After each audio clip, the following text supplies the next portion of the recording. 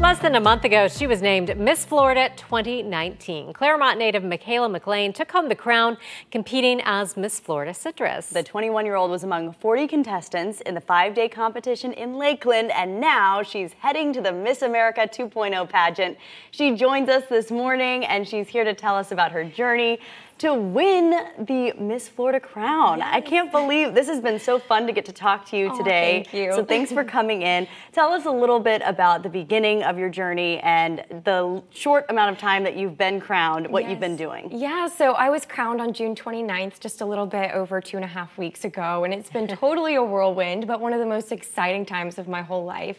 Um, as soon as you're crowned, you meet all your new sponsors for the year, which is one of the greatest gifts, and then you get a car from Cox Chevrolet, which is incredible, and you begin to zigzag across the entire state. So you are busy starting day one, but it is so exciting. It's a full-time job, and I can't wait for the rest of the year. And you know, I love the Miss America organization and everything that it does for young women, the scholarship yes. money and all that, but so many people don't realize this is a job, and Absolutely. part of your job is spreading awareness of your platform. Mm -hmm. So what are you talking about this year? Yeah, so my personal social impact initiative is called Brave and Beautiful. It's a universal message that empowers young women to live, love, and lead courageously.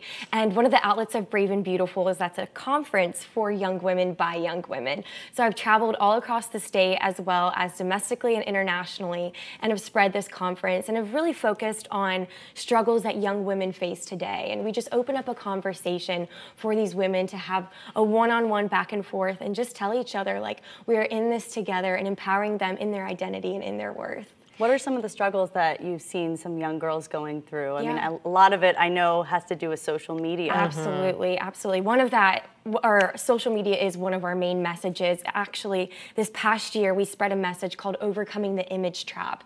And I think so often we can find our image and our identity and how many likes and comments and um, followers we get. And so really having that message and going straight into these schools and these girls' homes and in these sororities and showing girls that our identity is not in our social media profile, but instead who we are at our core.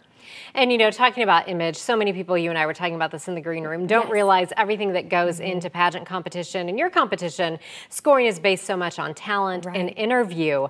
So what do you want people to know maybe who that they don't know about the Miss America organization? Right. A lot of people look at it as a beauty pageant. And as culture is evolving, so is the Miss America pageant.